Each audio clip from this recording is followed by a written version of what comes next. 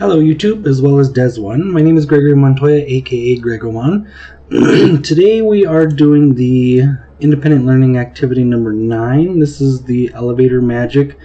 Um, you see I started following along with the 10th one before I finished the 9th one. or before I did this video. So we're going to go ahead and just run it real quick. Um, you see I have uh, all the other independent learning activities done already too. You know, we got a little bit of a little bit of a delay going on here. Okay. So I see we jump on and the elevator goes down. We did the life and death already, we did the jetpack, all that stuff.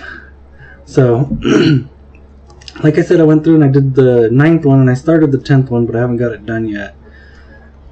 But you see the button works already too.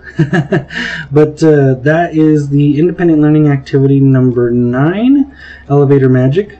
If you guys are enjoying these videos, remember to like, comment, subscribe, and uh, I'll be coming out with more real soon.